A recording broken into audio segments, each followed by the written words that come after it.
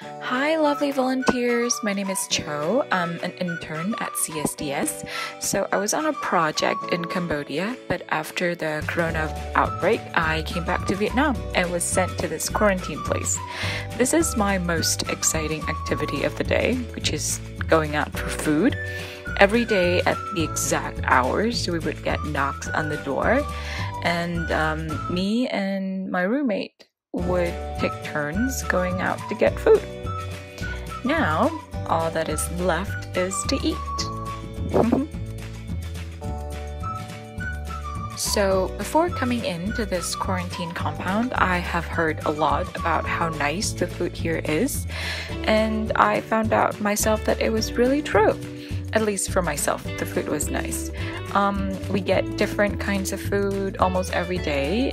Of course, it's not as good as my mother's cooking, but it was still nice. We even get desserts, which is probably my favorite. So yummy!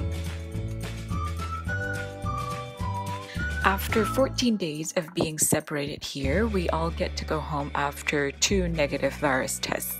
That's right, today is my homecoming day!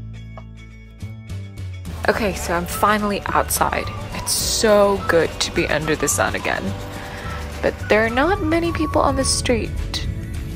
Everybody is under social distancing. Hmm.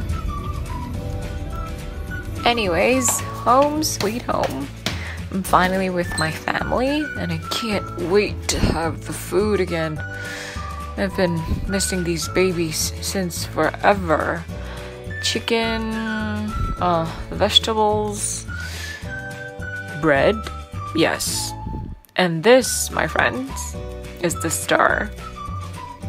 So we call this um, bánh bột and this is by far one of my favorite Vietnamese food. You have to try for those who haven't got the chance to try Vietnamese food yet.